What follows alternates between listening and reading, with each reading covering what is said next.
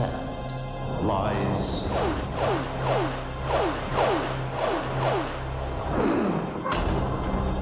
the extraordinary.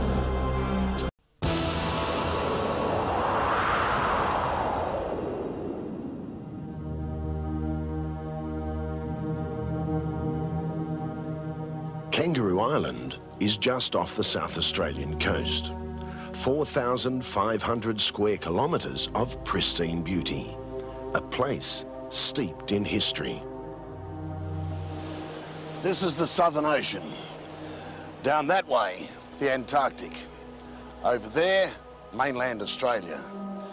It's rugged down here. A rocky island that at times is buffeted by ferocious seas and brutish winds. For sailors, Cape Willoughby has long been a welcome sight. It offered solace, confirmation of course, and safety.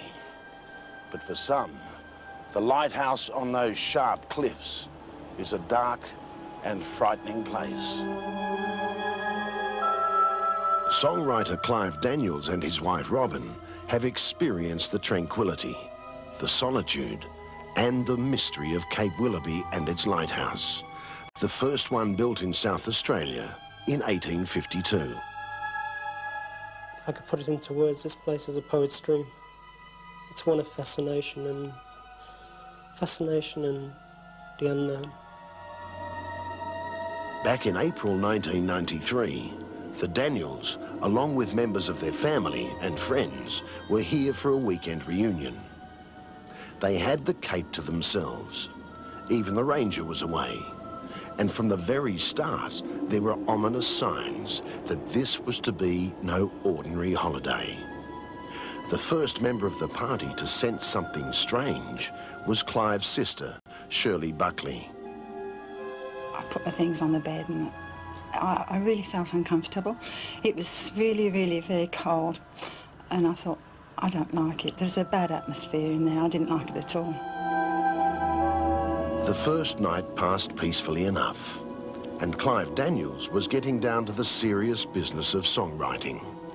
By the second night, he knew exactly where and when he'd find his inspiration. Up in the old lighthouse at midnight. It was a night just like this, cold, still, and crystal clear, that things started to change for Clive. What was to follow would almost literally scare he and his wife out of their wits. The lighthouse was deserted. Clive had the only key. All was silent, except for the waves crashing down below. The lamp above swept its arc across the lonely sea.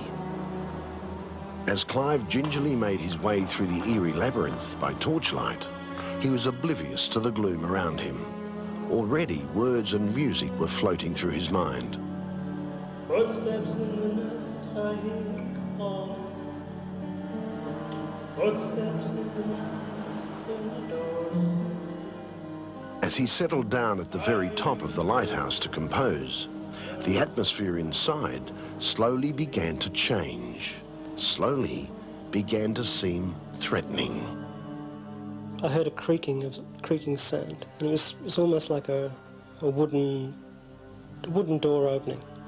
Sl- you know, just a slow but a definite creak of, of wood, and that sort of baffled me a bit because there's no wooden door there.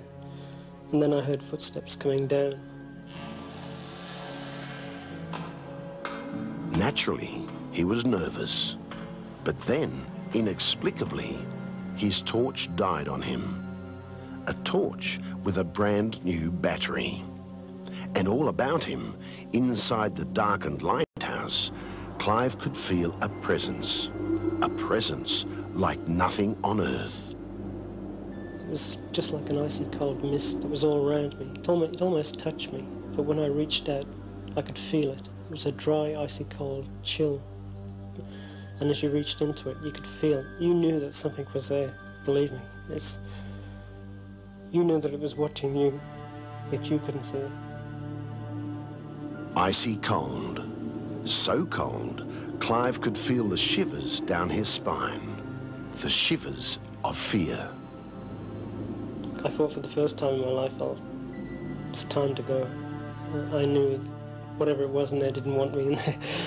So I put my guitar in the case and I felt my way down the steps. At the same time, with my right hand, I was trying to find the, the key to the lighthouse so I could get out there and lock it up and, and just leave. I felt uncomfortable there. Darkness, strange noises, icy pockets of air, and not a soul to be seen. Was it the mind playing tricks, or was it something else? Clive decided it was something else, something he couldn't explain. And as he locked up and left, the mystery of Cape Willoughby deepened. First, just as suddenly as it went out, his torch went on again. And then... I looked back at the lighthouse and I could feel something was watching me almost from the top window. And it was... You could almost feel as though there's someone up there. It was really strange, you know, it's... It's quite, The eerie presence that Clive Daniels felt in the Cape Willoughby lighthouse chilled him. The appearance of a silhouette in the lighthouse window had unsettled him greatly. Was his mind playing tricks, or was this dark, brooding landscape home to a ghostly apparition? Perplexed and afraid, Clive returned to the room he was sharing with his wife Robin. He decided not to disturb her, but it seems that icy, ghostly presence had other ideas. Shortly after, about must have been about half an hour after, my wife suddenly woke up and she she sensed a presence in the room and she said, "What's that?" And I could feel it too. It was almost that same sort of presence you had in the lighthouse. The the sort of the eerie feeling that someone was watching you. Someone was there almost, you know. And, and I, I reached up into the air and just see if I could touch it. And it's strange. As soon as you lift your arm, it goes icy cold. And I said, someone's in here. Because it felt like someone was watching me. Not like your little daughter coming in and saying, Mum, you know, when you're asleep. It was like something bigger. Just shortly after that, the shower started running. And uh, my wife commented to me about the shower running. She says, who would be having a shower so early in the morning? We looked, I looked at my watch and it was 2.30 in the morning. For 15 minutes, the shower continued. And when it eventually stopped, Robin decided to investigate. I couldn't believe it. There was no mist, there was no steam, the floor was completely dry. No one had, the towels were all neat, the bath mat was still hanging and it was dry. And I came back to my husband and I said, there was no one in the bathroom. That morning, the party assembled early for breakfast. Just after five o'clock, in fact. When my husband came in, he was looking very white, very frightened, and a little bit confused. And there were questions that had to be asked. Hey, who's the keen one that got up at 2.30 in the morning and had a shower? No one could answer that. Not one of them had been anywhere near the bathroom all night.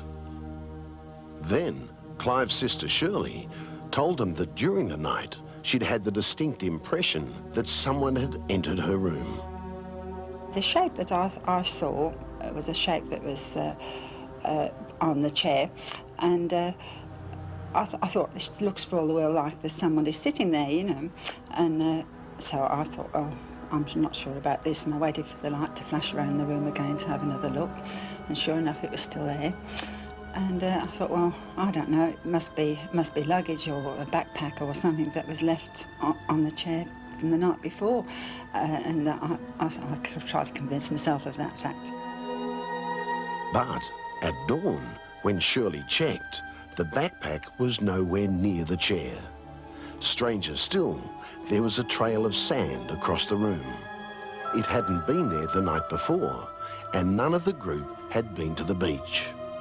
Finally, there was one more thing. The one that finally sent the family packing. we were all sitting around at a table, and um, all of a sudden the newspaper that was on the seat next to my wife, the pages started to turn over on their own, and there was no window open, no door, and my wife jumped about, must have been about a foot in the air.